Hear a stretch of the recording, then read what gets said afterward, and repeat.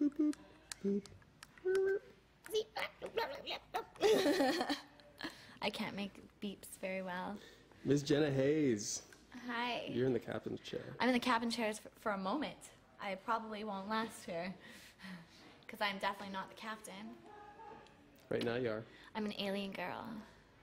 Ooh, Yes. alien girl. Who was dipped in Venus fluid right after my birth. Ooh, So now all I do is I please men. Hot. I'm like a siren. But I don't think I'd kill him at the end, which kind of kill, kind of sucks. I don't lure men to their death. Ever been to a Star Trek convention? No, I haven't. Definitely not. That would be really funny though. I'd probably go if I ever ate some mushrooms or something. That'd be really funny. right? You might actually be popular at Star Trek conventions following this movie. I probably will be. It's gonna be interesting. This movie will sell really good. There's a lot of nerds out there.